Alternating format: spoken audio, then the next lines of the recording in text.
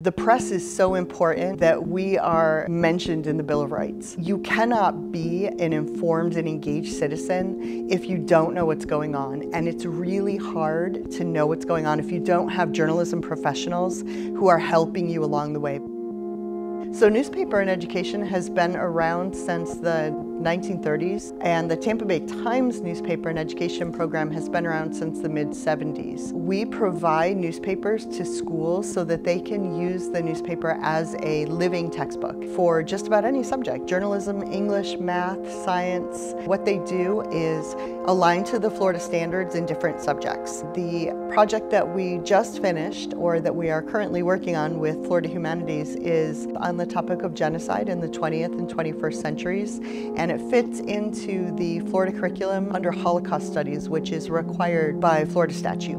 The publication went to schools and then we asked students to think about the themes that they read about and we asked them to make artwork that really expressed those themes um, that we were trying to get across in the publication. My background before coming to newspaper in education was in, in teaching.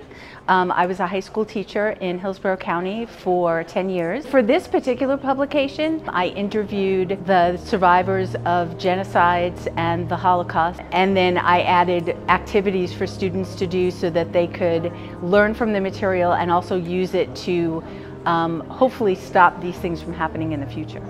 Well, the subject intrigued me because uh, my students do a lot of social justice artwork. So when I saw the topic of genocide um, in these two time periods, it definitely piqued my interest. I have students from um, the Middle East, students from Asia, students from um, Latin American countries. So many of them have family members um, who are going through these things right now. It relates to a lot of them. It's on their minds more than it should be.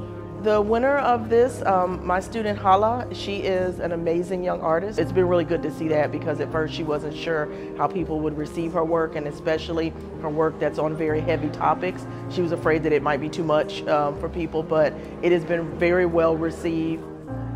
My sister and my brother like to tell me a lot about what's going on in Syria because I left when I was very young, so I don't know too much, but they want me to keep knowing the current events that are going on over there and not forgetting what's happening. I submitted a piece um, titled Next Generation, and it's about the desensitization of the kids in Syria and how the war has been going on for so long now that these kids have grown up with it and they're not aware that this isn't normal and they haven't really known peace in their lives.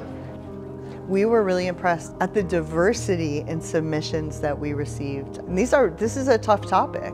It was conceived as a one-off, but um, the response showed us that there, there really does seem to be an appetite in Tampa Bay for talking about these difficult subjects.